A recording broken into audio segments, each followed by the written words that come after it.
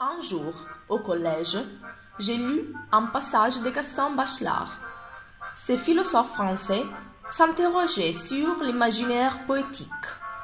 Pour Bachelard, l'espace onirique est partout et nulle part. Dans ces moindres parcelles de nature, l'imagination peut s'envoler, se libérer. C'est le revers qui fait le monde poétique, et non le monde en soi poétique qui fait le revers.